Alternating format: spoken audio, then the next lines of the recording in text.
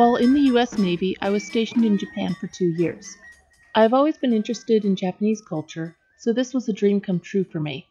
I learned a lot while I lived there, but one of the things I found really interesting are mikoshi, which are portable Shinto shrines used in some religious festivals.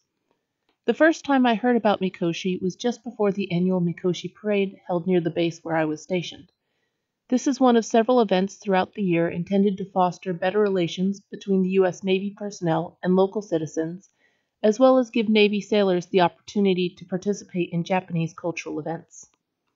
I was already familiar with the two major religions practiced in Japan. Buddhism came to the country through China and Korea, but the Japanese way of practicing it is distinct due to the influence of Shinto, the native religion of Japan. The primary belief of Shinto is that everything has a spirit called a kami.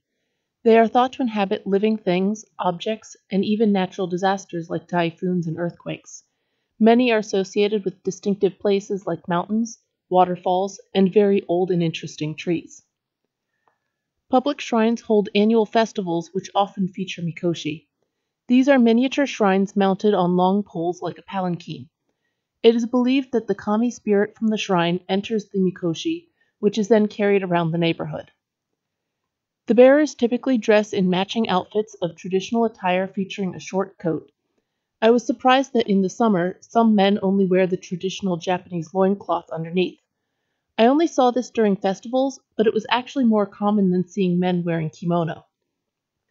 The Mikoshi's bearers chant as they walk, and they may zigzag across the street or shake the miniature shrine to entertain the kami during the trip. You can see these in this final clip. I was delighted to stumble across a small neighborhood festival while walking around Tokyo in September 2015. This is the same festival you saw at the beginning of this video.